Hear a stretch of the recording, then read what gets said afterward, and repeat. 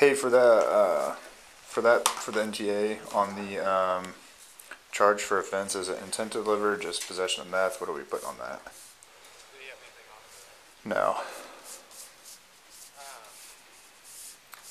I mean, it, noticed it yeah.